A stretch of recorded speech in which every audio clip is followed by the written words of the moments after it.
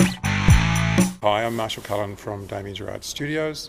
Uh, today we're actually at the National Art School in the Cell Block Theatre and we're doing this uh, most unusual project which we're uh, supplying all the audio and I'm doing live front of house mixing for a, uh, a biosynthesizer.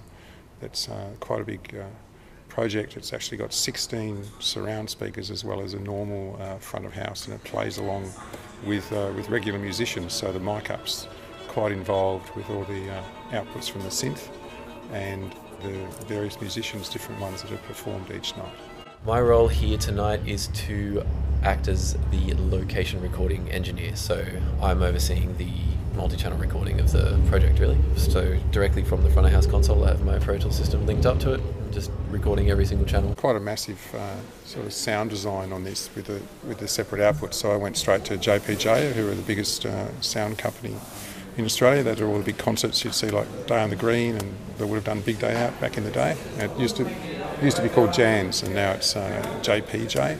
I used a, this Digidesign SC48 console. We could have used a profile, but um, SC48 was enough for this job, and we didn't want to have separate mix racks or anything like that. So we went with this one console that's got all the connections. The SC48 is a really powerful console housed in like a modest enclosure but the power of it is so great. It's as if it's a huge console, really.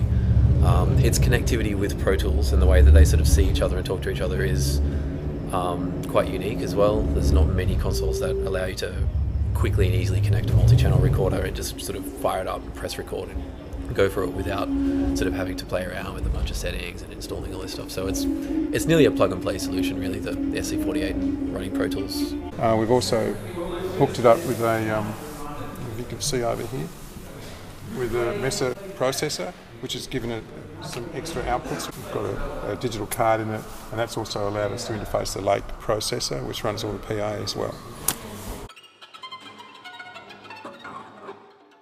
There's a neural network, a neural interface that's actually grown from, uh, from Guy, who's the inventor of the whole concept.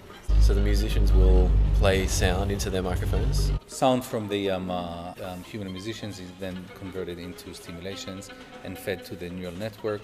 And those cells are able to react to uh, musical input.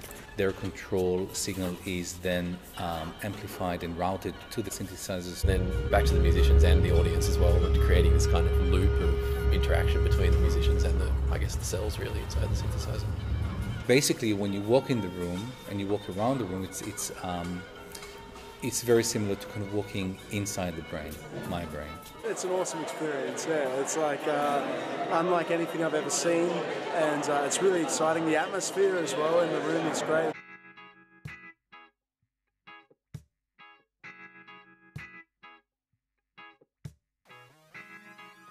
Go, go.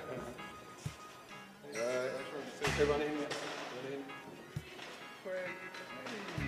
bound to be one in there. All right. Great. Yeah.